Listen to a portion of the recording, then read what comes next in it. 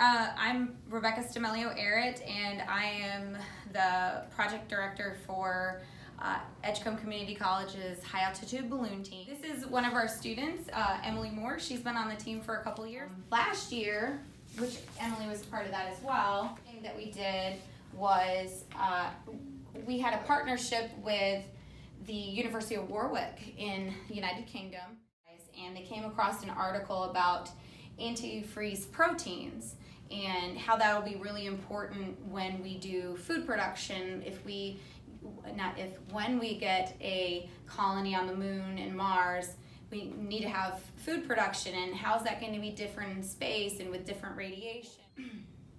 One of the professors at the University of Warwick has developed these antifreeze polymers and Jillian Leary uh, wrote him an email, and she's at NC State now in the environmental science program, but she was on the team last year and the year before that.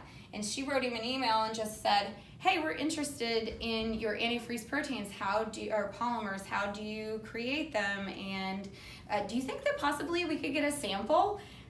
just off the wall, not thinking, yeah, throw it out there, see if you'll do it. And he said, Yes, I'll send you some and let me send you some other material. He sent us a whole bunch of stuff.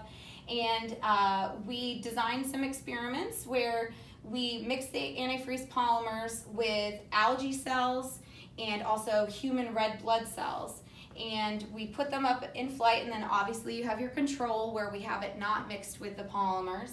And if you come a little closer, you might be able to see we have some images of you can see the algae cells uh, that have the antifreeze polymers before and after, so you can see the uh, the cells that are alive.